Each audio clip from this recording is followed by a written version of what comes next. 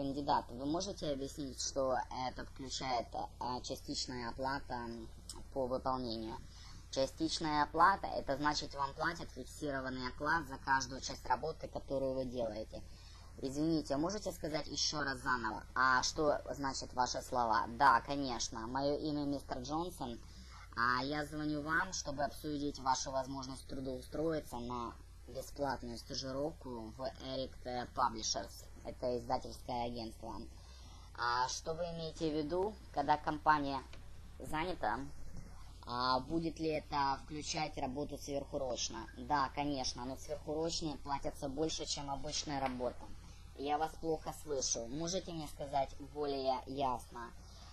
Я чувствую, вы идеально подходите для этой работы. Если вы не чувствуете себя хорошо, ну, не слышите меня хорошо, может, я вам перезвоню по нормальному стационарному телефону. Это в данный момент они говорят через мобильное, и поэтому плохая связь.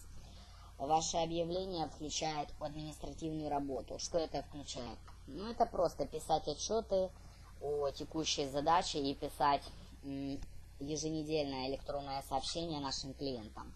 Если я вас понимаю правильно, вы говорите, что работа включает сверхурочно, да, но оно будет оплачиваться дополнительно. А, привет, Сильвия. Как ты вчера это сделала? Ну, я думаю, я хорошо прошла интервью. А, они были милые, профессиональные. Я думаю, они мне предложат работу. Я бы с большим удовольствием работала там.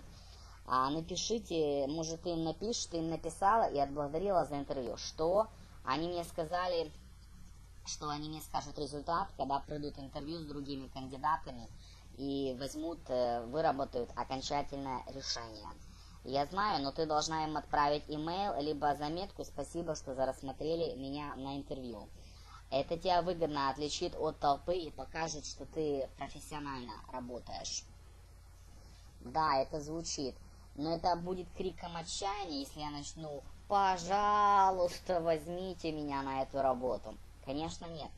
А ты же не будешь перегибать палку. Просто короткая заметка. Сказать, что вы оценили их время и вы серьезно готовы работать.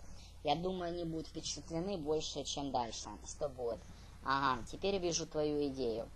А что нужно писать в этом сопроводительном письме? Кого надо слушать по жизни? Кто умный? Я умный человек в английском языке, то есть я вам не буду рассказывать bullshit. Bullshit – это мелочь жизни.